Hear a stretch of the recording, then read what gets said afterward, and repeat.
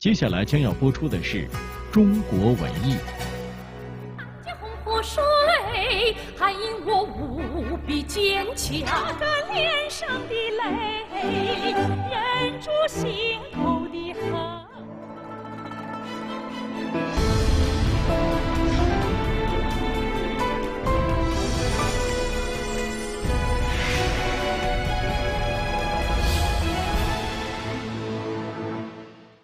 在荏苒的时光里，聆听永恒的旋律；在岁月的长河里，品味民族歌剧的魅力。那一幕幕经典，在岁月的涤荡中更显风华。今天，就让我们在回忆中回眸经典，品味中国民族歌剧独特魅力。作为舶来品的歌剧，借助白毛女、小二黑结婚、本土化、民族化的进程中，终于在中国的土地上扎根发芽，不断壮大。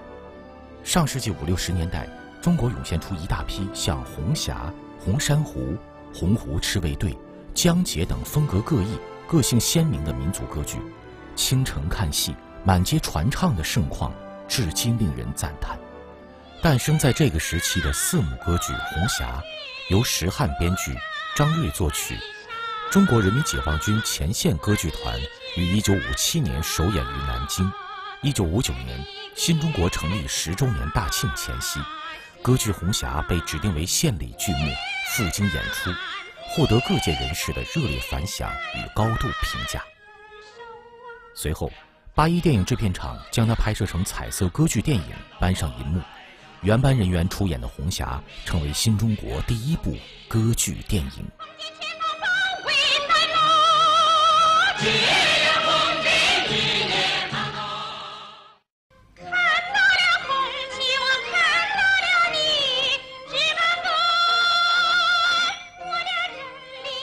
歌剧《红霞》的音乐中吸收了江南民歌和戏曲音乐的曲调，运用了传统戏曲中的板腔化手法。成功塑造了女主人公红霞这一光辉的艺术形象，全剧曲调优美、婉转动听。其中第四幕红霞牺牲前演唱的《凤凰岭上祝红军》，曲子优美委婉，如泣如诉，又荡气回肠，是全剧最著名、在群众中流传最广的唱段之一。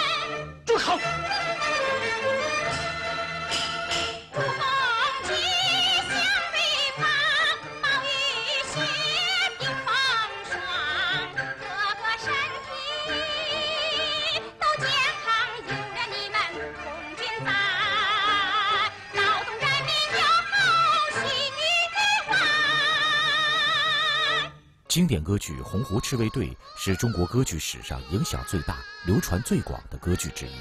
创造了新中国创作剧目上演的最高纪录。它首排于1958年，1959年10月，《红湖赤卫队》作为湖北省向国庆十周年献礼剧目，首次进京演出并一炮而红，从此便被誉为中国民族歌剧的瑰宝。《红湖赤卫队》的诞生，标志着中国民族歌剧事业正逐步。走向成熟。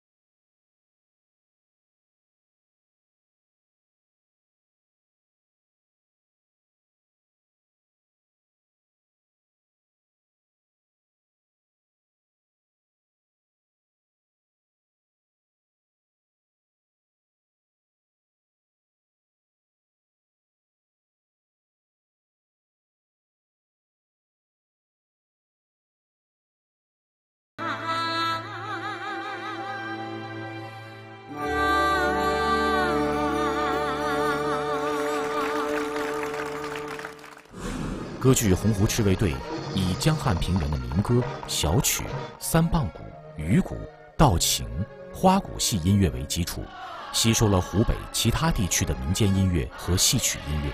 并借鉴西洋歌剧气势宏大的表现手法，形成了独特的艺术风格。他的成功无疑为中国民族歌剧创作掀起了又一次高潮，并在中国歌剧发展史上留下了浓墨重彩的一笔。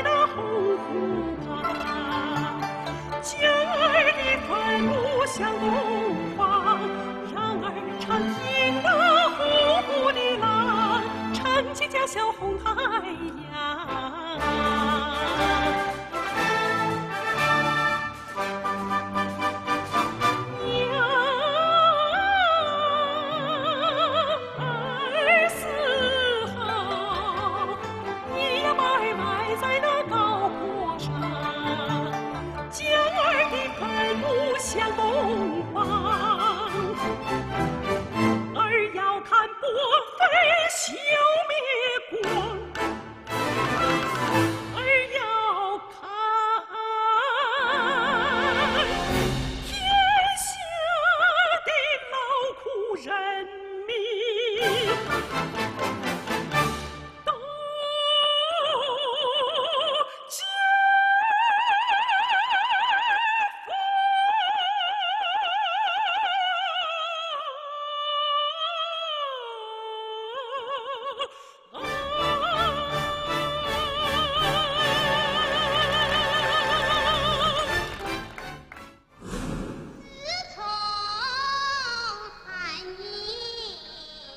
没有眼泪，没有悲伤，是歌剧《洪湖赤卫队》女主角韩英的核心唱段之一。剧中韩英以借景抒情的形式，回忆了自己由一个渔家女成长为共产党员，然后被捕的革命经历。该唱段是一曲具有中国传统戏曲板腔体结构特征的咏叹调，节奏舒缓宽广，旋律曲折回荡，表现了狱中韩英坚贞不屈的革命精神及对战友无限思念之情。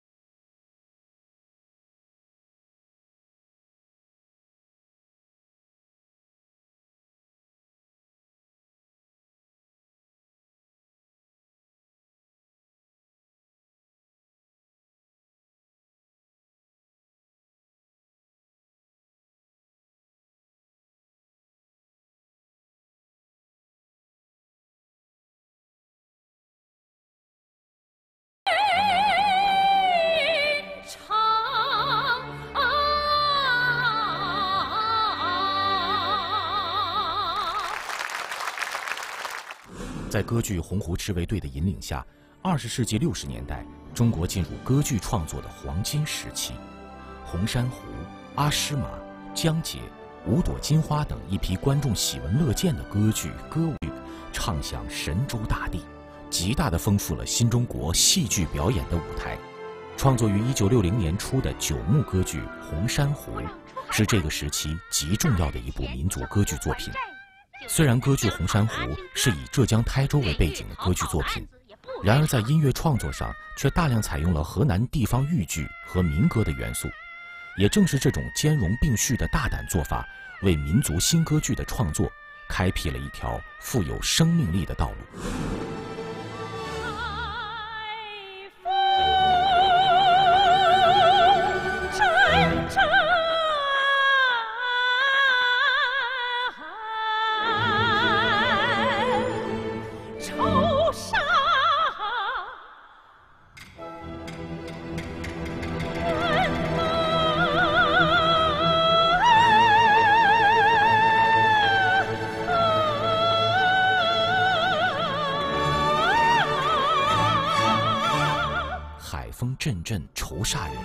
一句唱腔中拖腔和喷口的方法，使音色抑扬有度，充分体现了山妹在鱼霸压迫下的苦难遭遇，以及她盼望早日获得解救的心情。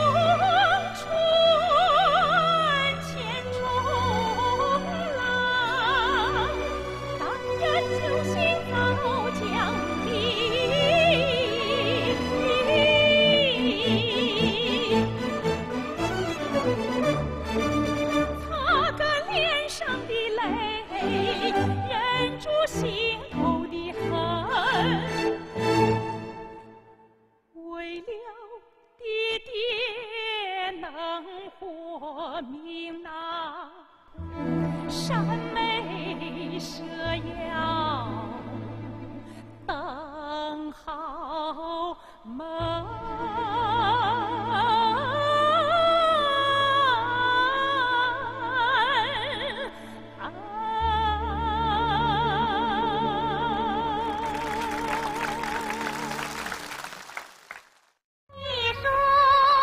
《珊瑚颂》是歌剧《红珊瑚》最广为传唱的经典选段，